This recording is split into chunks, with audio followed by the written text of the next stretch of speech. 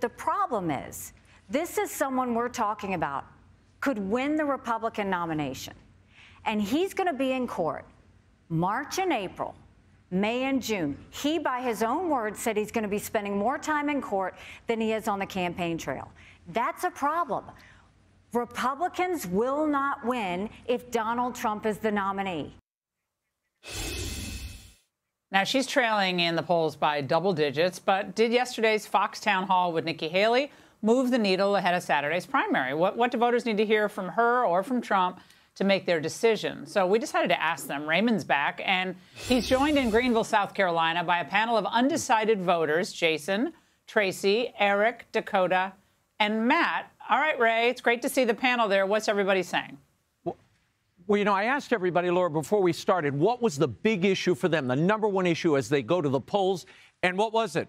Immigration. Immigration. immigration. the border and immigration. Why? Jason, you are a pastor. Yeah. Why are you concerned about this issue? The, just the, the amount of fentanyl and the drugs that are coming over. I've been to way too many overd- funerals of people who've overdosed on fentanyl, and the resources that are being used to house migrants could be used to help the, the homeless here. Mm-hmm. Tracy, you also very concerned about the border and what to do about the 10 million people who've come into the country under Biden. That's what I'm worried about the logistics of finding these people and t- sending them back home. Now, Nikki Haley said e verify is what she would use, and that's great, but criminals aren't looking for jobs and e-verify won't affect them. Mm. So I'd like to know how we can get them before they commit a crime. Dakota is a student here in South Carolina. You're concerned about the border. Why? You would think students wouldn't be concerned about this. I'm honestly really concerned because um, at school I study criminology, and my colleagues are just talking about it all the time about the fentanyl epidemic that's coming mm. from the border and how it's just ravaging even our campus. And Matt, your big concern. Well, you know, our the wall has not been completed. We've got to get that done. But I've also never met an American who would open the door and let someone in their house if you don't know who's coming in or who's on your front doorstep. Mm-hmm. Eric, I know this is another burning issue for you. You were very impassioned about it earlier. Yes, human trafficking for me, the, the, the part of, the, of, that destroying our America as far as yeah. the thought of, of, children being molested, just it just sickens me. Rips you up. Yeah, me too. Uh, Laura, I know you have a question for the panel.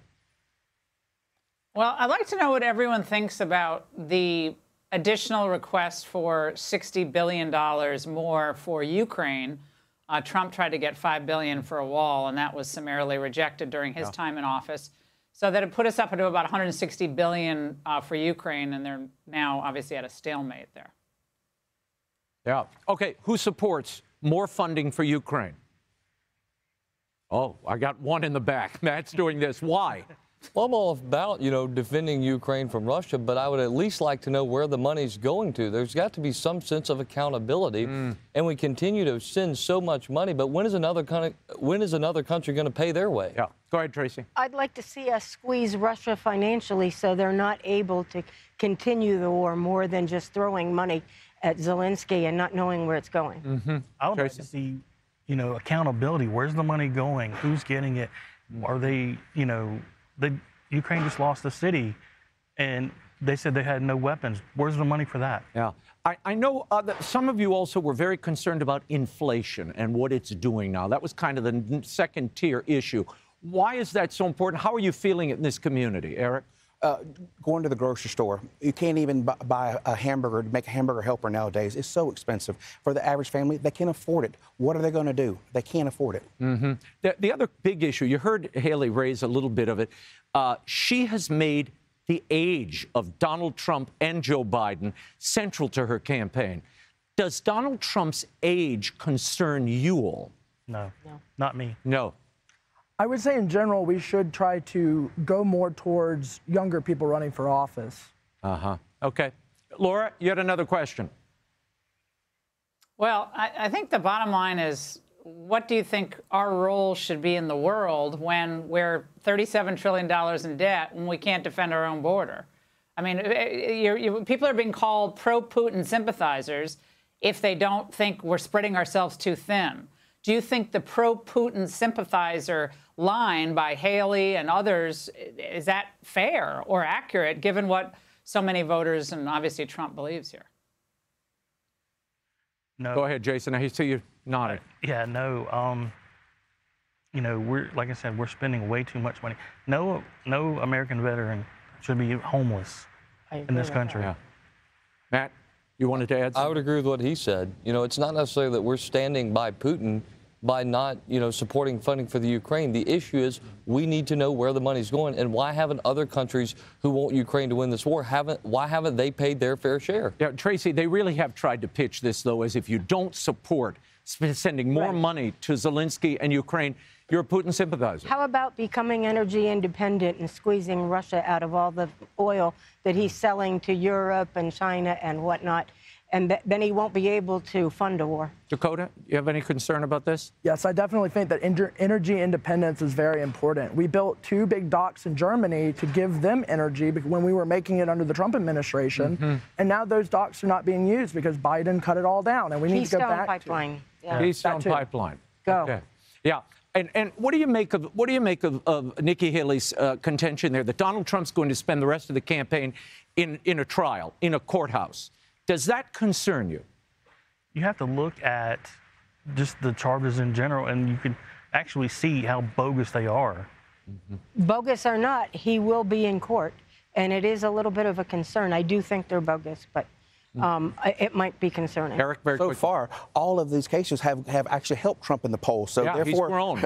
He's so- grown, so it doesn't seem to be hurting him. No, Go not at ahead. Laura. You wanted to ask something else. Dakota, yeah, D- Dakota, the issue of gun control that they like to, you know, call gun safety is something that the left thinks will really get suburban women out there and, and other young people that they're concerned about that. Um, do you think that's something that will be a, a effective push for the Democrats? I definitely do. And I think the Democrats are going to play their games like they usually do. But at the end of the day, this is a constitutional issue. And they need to understand that in the Constitution, it plainly states what we have. And that's the Second Amendment. That's freedom to the right to bear arms. And I think that we need to not uh, be looking at taking that away. I think that that's going to be very important. I know that my members in my college Republican chapter think it's very important. Matt, you voted for Donald Trump last time.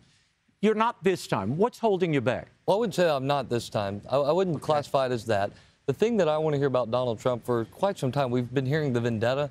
I want to hear his plan to move our country forward. Let's put the past behind and let's move the country forward. Let's not worry about all who we have to pay back. Let's worry about how we can move this country forward. Laura, I'm going to let you close this out to, with the panel. Oh, Guys, what do you need to hear from uh, former President Trump tomorrow to make your decision on, on whom you're going to vote for? for, for me, how is he going to win? We've got to win. We've basically lost two national elections back to back. It's time to win. He said it's all about the winning. Mm-hmm. Let's win. What do you want to hear from him, Yeah. Tracy? I- I'd like for him to stop calling people names, and he's got really great policies. Let's hear about the policies and move on. Okay. I want to see how he's going to bring inflation down because, mm-hmm. you know, I, the work I do, it's affected because I can't feed as many people as I normally would. Yep. Guys, we're out of time. Laura, we will see you tomorrow, and we're going to bring the panel back to let you know how things shook out in their reaction to Donald Trump and the big town hall.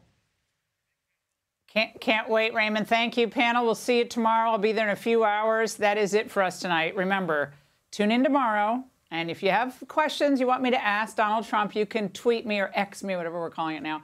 Um, and I'll consider actually asking those questions. And we'll be in Greenville, South Carolina.